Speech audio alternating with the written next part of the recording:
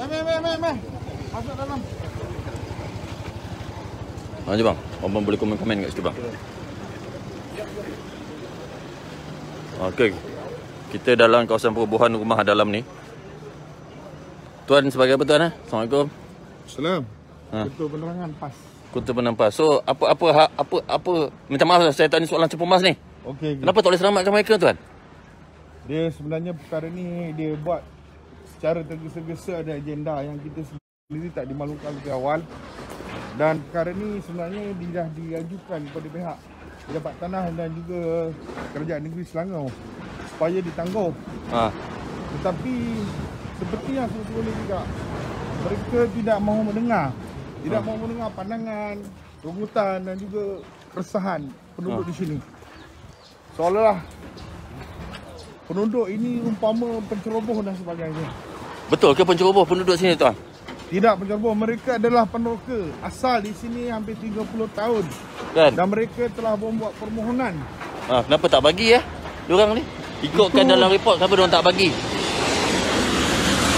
Itu sebab kami pun tidak faham dan apa yang yang kita nampak daripada tindakan-tindakan yang dilakukan sebelum ini Ha. nampak ada agenda agenda, Agenda. yang di sebalik apa yang berlaku pada hari ini Ya. eh? kerana penduduk telah mencadangkan beberapa penyelesaian Ha.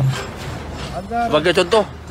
kita telah melantik uh, konsultan juruko Ha. supaya lencongan sungai ini tidak kena pada penduduk ataupun rumah penduduk tetapi Ha. mereka tetap degil tidak menerima pandangan daripada uh, konsultan ataupun jurukau yang dilantik dan mereka terus proceed dengan cadangan yang diajukan oleh pihak konsultan yang dilantik oleh pihak kerajaan juga Hmm. Tapi saya dipahamkan oleh penduduk tempatan kawasan ni sebenarnya isu banjir bukan sebab sungai sebab bottleneck kat depan tu Ya, betul. betul itu salah satu antara puncanya yang keduanya sungai ini masih lagi tidak didalamkan Itu je. ya So isu tu Dan pernah di pernah sebagaimana yang dinyatakan oleh penduduk apabila suatu masa dulu sungai ini didalamkan masalah banjir pun kurang hmm. telah berlaku kurang Yalah. dan bottleneck di ujung sana Ha. jambatan di ujung adalah jambatan di wajah KR Hmm. dia mengatakan tidak ada peruntukan lagi Hmm. sedangkan sini dah diroboh